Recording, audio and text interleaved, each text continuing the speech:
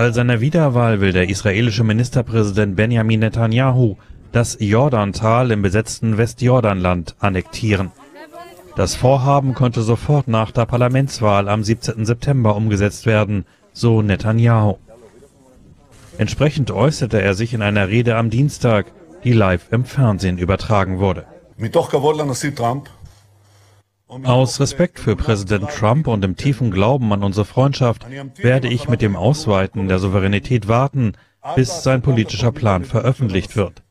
Soweit das möglich ist, soll die Ausweitung der Souveränität in den Gemeinden und anderen Gebieten eng mit den USA koordiniert werden.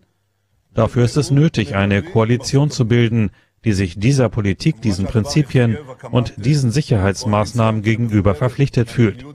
Es gibt eine Möglichkeit, dies sofort nach der Wahl umzusetzen, wenn ich dafür von Ihnen, den Bürgern von Israel, ein klares Mandat erhalte.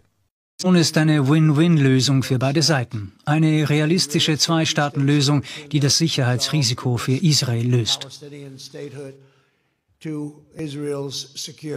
Der Freund, den Israel je im Weißen Haus hatte.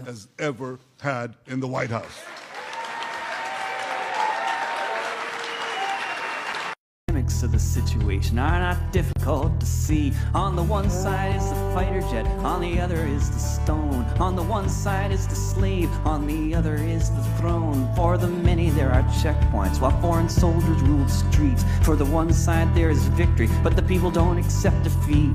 The word you need to know is occupation the very definition of a land without a nation. And if peace is what you're after, then let us not deceive.